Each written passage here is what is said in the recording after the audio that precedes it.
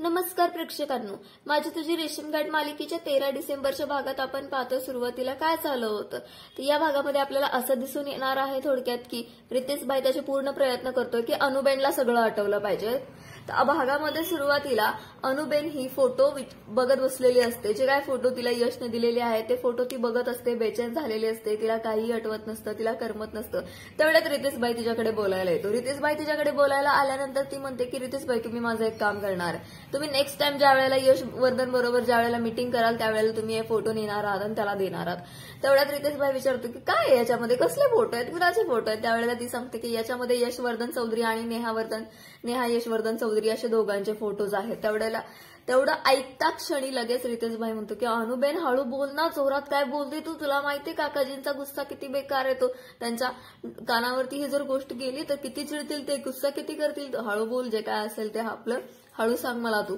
मी देईन photo return तेवढ्या जयंती मेहता तिथं येतो. जयंती मेहता रितेशला अनुबेनच्या जवळ बघून तो आश्चर्यचकित होतो. त्याला प्रश्न पडतो की हा हिच्या जवळ काय करतो? ह्यानी हिला काय सांगितलं तर नसेल?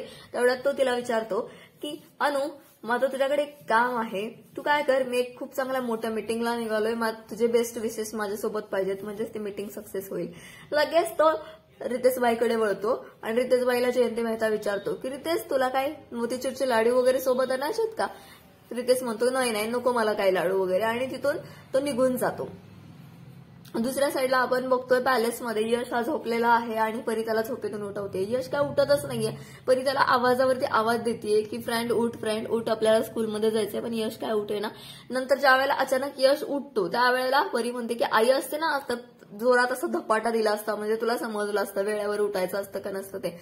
मग ते ऐकता क्षणी लगेच त्याच्या डोळ्यामध्ये पाणी येतं. त्याला डोळ्यामध्ये पाणी आलेलं बघून परी म्हणते की फ्रेंड तू रडतोयस का? तू काय सॅड झालायस? काय झालं? तुला वाईट स्वप्न पडलंय का? काय स्वप्न पडलं तुला? परी विचारते त्याला. पण यश हा परीला स्वप्नाबद्दल काही सांगत नाही. यश फक्त तिला म्हणतो की हा बच्चा मला खूप वाईट स्वप्न पडलं होतं. लगेच परी त्याला म्हणते की उठ पटकन तू तयार हो मला स्कूलसाठी लेट झालाय. बघ मी किती स्मार्ट आहे मी स्वतःचा आवरलाय मग तुझं पण पटकन आवर्तून मला सोडायला असेल.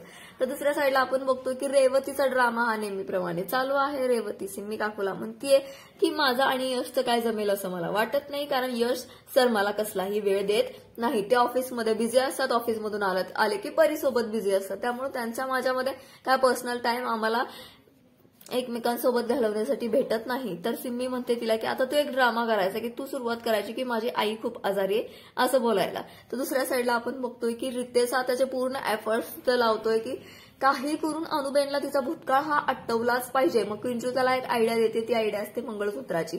मग ते ऐकता क्षणी लगेच तो जयंती मेहताच्या रूममध्ये येतो. जयंती मेहताच्या रूममधून तो लॉकरची चावी घेण्याचा प्रयत्न करतो. तिथं तो दोन तीन वेळा धडपडतो पण तो लॉकरची चावी घेण्यामध्ये सक्सेस होतो. लॉकरची चावी घेतल्यानंतर तो लॉकर ओपन करून त्याचं अनुचं मंगळसूत्र त्यातून काढतो.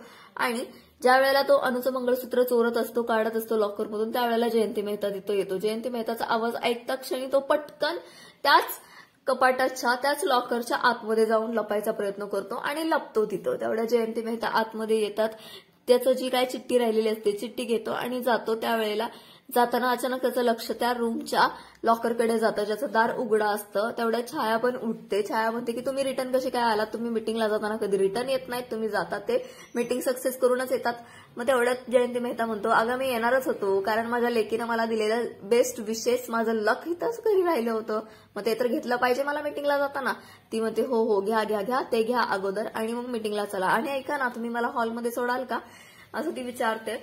आणि जयंती मेहता पण तिला होकार देतो आणि तो तिला घेऊन लगेच तिथून हॉलमध्ये जातो.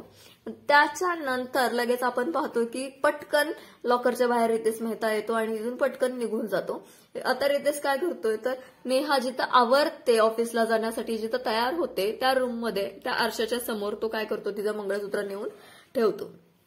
नंतर नेहा ज्या वेळेला रूममध्ये येते ना आवरायला सुरुवात करते त्यावेळेला अचानक सहज त्या लक्ष त्या मंगळसूत्राकडे जातं ज्या तिथे ठिकाणी मंगळसूत्र ऑफिसला स्वतःच्या हातात घेते त्या मंगळसूत्राकडे बघायला सुरुवात करते त्यावेळेला तिला डोक्यामध्ये दुसऱ्या काही गोष्टीचा नेहा म्हणजे भूतकाळ हा दिसायला लागतो पण तो. स्पष्ट दिसत नाही तिला सगळा फेंट दिसत असतो काही तिला स्पष्ट दिसत असताना आणि जोरात ती चक्कर येऊन पडते. चक्कर येऊन पडलेलं बघून हातामध्ये रितेश खूप आणि त्याला असं वाटतं आता तिला. सगळं काही आठवलं त्यावेळेला आहे आता उद्याच्या चक्कर यायला लागते. आपल्याला बघायचं अनुबेनला खरंच तिचा भूतकाळ अनुबेनला खरंच अचानक म्हणजे अनुही चक्कर पडलेली. आता उद्याच्या आपल्याला बघायचं. पाहण्यासाठी मराठी पाहण्यासाठी लाईक करा शेअर करा सबस्क्राईब करा थँक्यू